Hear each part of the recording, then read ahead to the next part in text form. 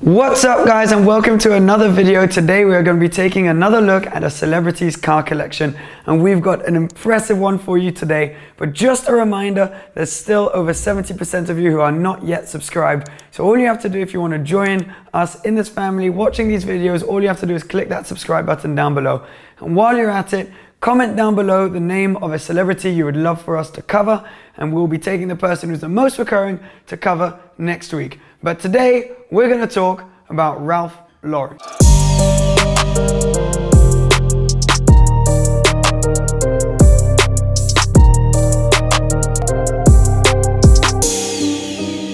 I'm sure you all know Ralph Lauren, legendary American designer. He has a net worth estimated at about $6 billion and probably one of the most unbelievable car collections in the world. I don't think we're going to be able to cover all of his cars today because there are just so many. But I've picked a few of the ones that I thought were the most impressive with the most incredible history and stories behind them. Now his car collection is estimated to be worth around $300 million and they've won countless prizes and there are modern cars, old cars, there's a bit of everything. So let's get started. When you had 17 of your cars displayed at the Louvre, just in honor of your car collection, you know you've got a pretty impressive set of cars. Ralph Lauren also used some of his cars uh, for his 2017 fall winter fashion line and during the fashion show back then. I apologize for my finger, by the way. I sliced it open not too long ago. Let's kickstart things with some modern cars first and then we're going to get on to some of the more classic cars. We're going to be talking Bugatti, Ferrari, the 250 GTO, the world's most expensive car as well, a Bugatti Atlantic at the end of this video. We're going to give you the history on that one. Let's kickstart things where we usually end these videos, which is with Bugatti. And specifically the Bugatti Veyron, the first generation 16.4. Ralph Lauren has one of these in black now, it was first spotted and associated with him when he was driving it near his ranch, and he was spotted by a car spotter who noticed the New York license plate and the fact that it was near Ralph Lauren's ranch. He figured it was probably Ralph Lauren driving it. So this is a all blacked out, standard chrome rims, Bugatti Veyron, so 1001 horsepower. And indeed, when he was taking these photos, it was Ralph driving it. Pretty cool to see him out and about using his Bugatti Veyron. Of course, this is a car which is worth over a million dollars. Now he didn't stop there with the Bugatti Veyrons. Rumor has it, this hasn't yet been confirmed, that Ralph Lauren then bought a second Bugatti Veyron, but this time a Super Sport. So the Super Sport is a slightly more powerful version of the standard Veyron, but a lot has changed from the suspension setup, the aerodynamics outside. It's a completely different car. Only 30 coupes were made and a limited production world record edition, WRE, of which only five were made, were sold to a few clients around the world, two of which known to be in the US. And rumor has it, one of those is owned by Ralph Lauren. Now the rumors were started when the Bugatti Veyron WRE was delivered at Ralph Lauren's home in Colorado right after Pebble Beach. There are a few differences actually on this car compared to a normal WRE, um, such as the logos, which are in a different color. So there are rumors that this could be either a sixth WRE or even a whole new special edition made for Ralph. But he hasn't confirmed this publicly, so we can't be sure, of course. But you can kind of assume that if a Bugatti Veyron, super rare one of this type, clearly the kind of car he likes, is delivered to his home in Colorado, this probably is. Ralph didn't stop there with the modern supercars. He then went straight to Italy, to Lamborghini, where he bought himself an LP 670-4, a limited hardcore version of the Murcielago model. Now 670 represents the amount of horsepower, so 670 horsepower, and this is a hardcore limited edition version of the Murcielago LP640. Originally, the plan was to build 350 of these cars, but they only actually sold 186. So a super rare car, very few in manual. To our knowledge, Ralph Lauren's one has the single clutch flappy paddle gearbox. Still an epic car They've flown up in value. He then also bought a similar but much more expensive Lamborghini, the Reventon. The Reventon is a super limited fighter jet looking version of the Murcielago again based on the LP640 platform. It's got 641 horsepower, designed after a fighter jet. The dashboard inside looks like something out of a fighter jet and just the general look of the car. Now 36 were made worldwide, 20 coupes, 15 roadsters, Rouse, from the photos we can see, is a roadster, so even more rare than the coupes. And then one coupe was actually made to be stored in the Lamborghini Museum. So very, very rare car, an awesome addition to the collection. As we mentioned earlier, in 2017, Ralph Lauren hosted a fashion show in which he showcased some of his supercars. So the models were walking around a line of some of his most prized supercars, and these are actually some of his modern cars. A few of you, you guys will recognize, but I was super interested by the fact that in the background, there was a really rare RUF CTR 3. So it was the furthest car away. There aren't too many photos or videos of it during the fashion show, but a super rare hypercar produced by Roof Rough however you want to call it, which is a world-renowned Porsche tuning company. Now, normally they take 911s and things like that and they'll tune them to their liking, but here they decided to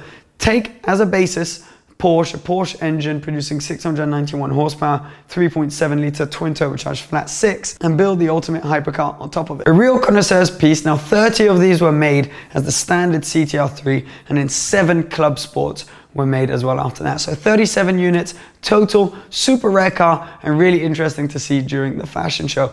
Wasn't the only hypercar there. He also had on the front line, as you can tell, his Ferrari LaFerrari. 500 of these made, 499 sold to clients, and one kept at Ferrari. His is in a particularly rare black paint color.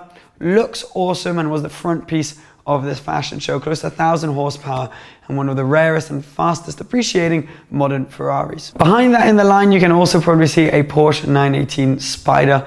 So with close to 900 horsepower, 0 60 in 2.7 seconds and 217 miles per hour as a top speed. You'd think that having one of these bad boys would be enough, but Ralph Lauren has bought himself two.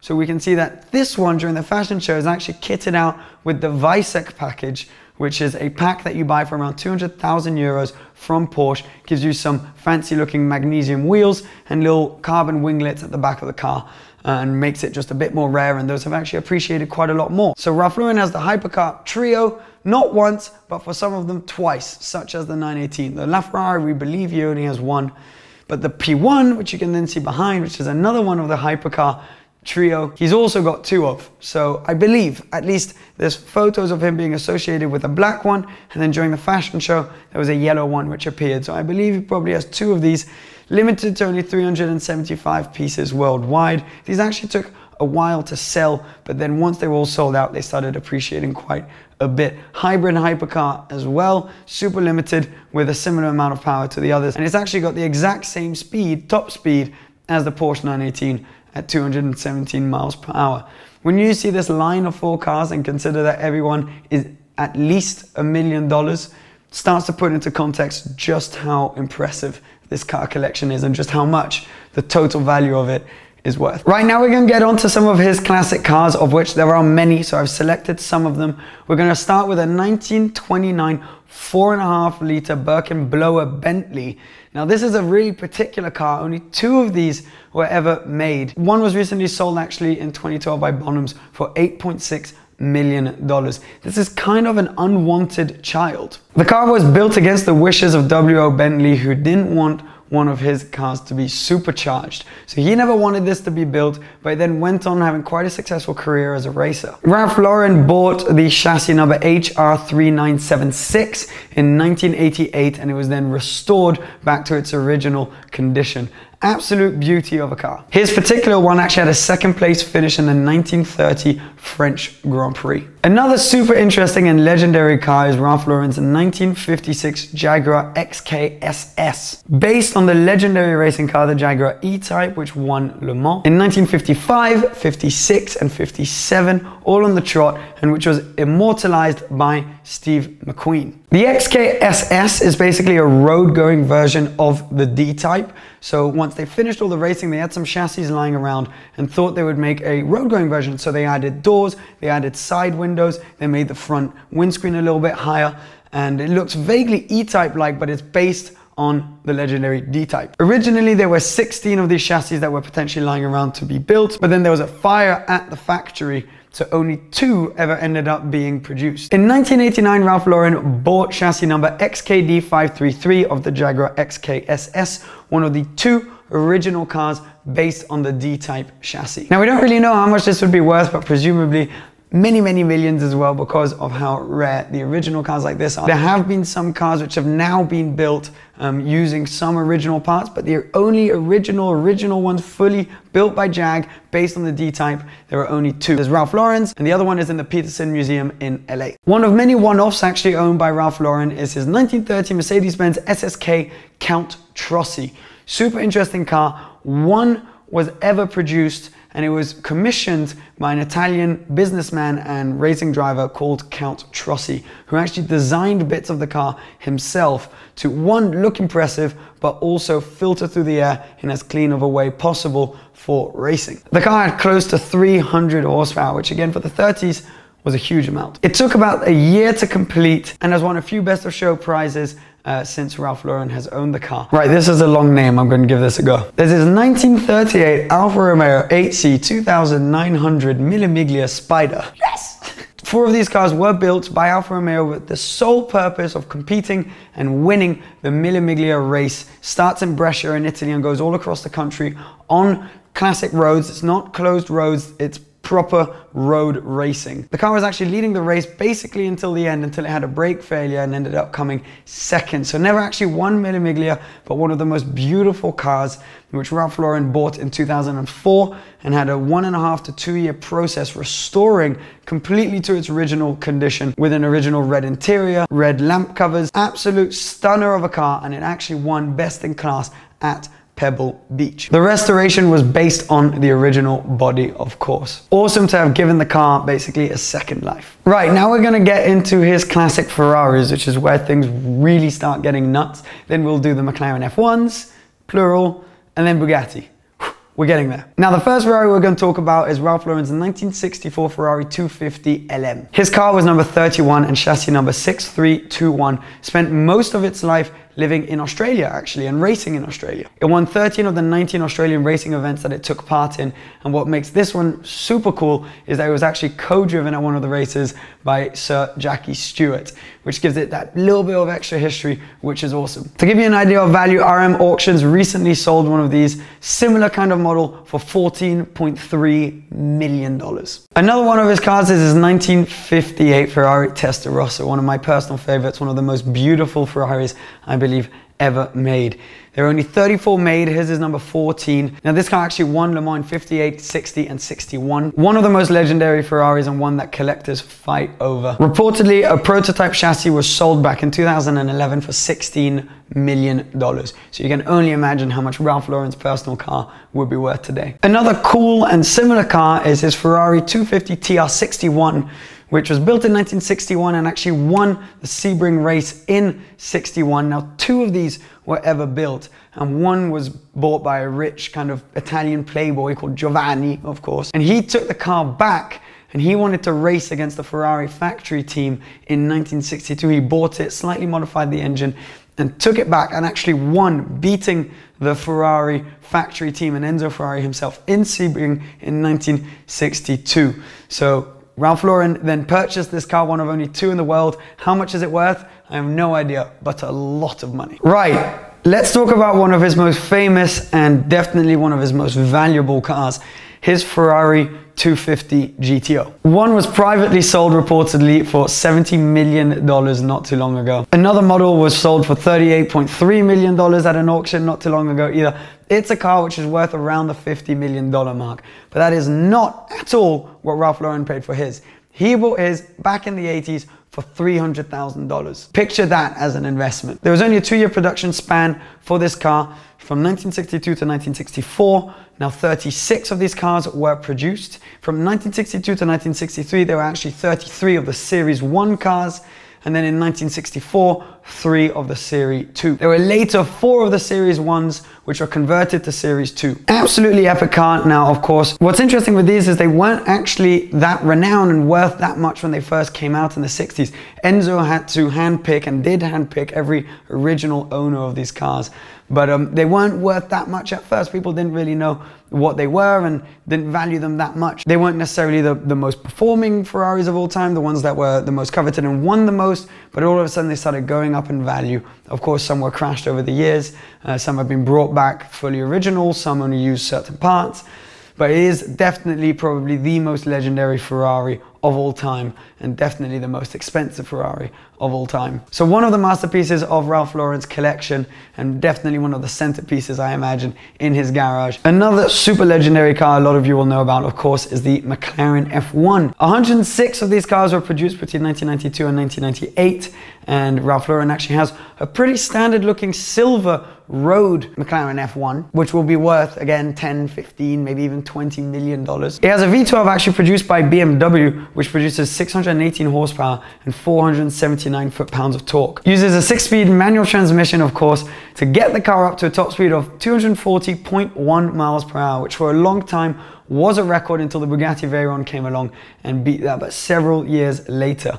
These are legendary cars, a lot of very famous owners as well, such as Rowan Atkinson or Mr. Bean, as you may know him. He's had one. But for Ralph, that wasn't quite enough. He had his silver McLaren F1. He decided to buy another one. He bought himself a McLaren F1 LM. Now, an even more limited version, inspired of course by the F1s, which were so successful at Le Mans. Only five of these were made, excluding the prototype, which was kept by the factory all in papaya orange, which is a very famous color, which of course has come back to McLaren today um, in Formula One, which was what the founder of the company, Bruce McLaren, used to choose to race his cars in. So this is an even more expensive version, probably around 20 to 25 million dollars of the McLaren F1. So it's pretty cool to have a kind of very classic looking silver, which was the launch color McLaren F1, and next to that an LM, which Ralph actually reportedly drives a fair amount. This, without a shadow of a doubt, would be the masterpiece of most people's collections.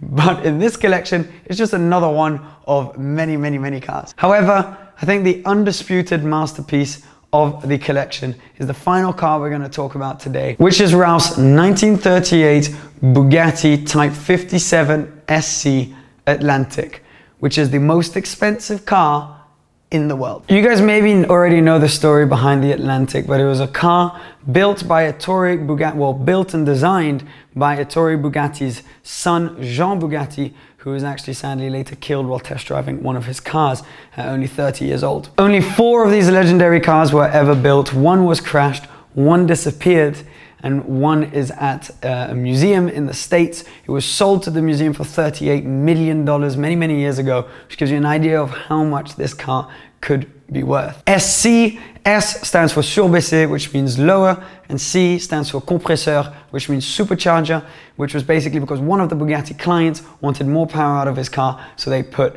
a supercharger on it. One of the most beautiful cars ever produced, inspired by airplanes back in the day. You can even see um, some bolts on the roof of the car. Ralph Lauren's personal car was built in 1937 and then bought by a British Bugatti enthusiast in 1938.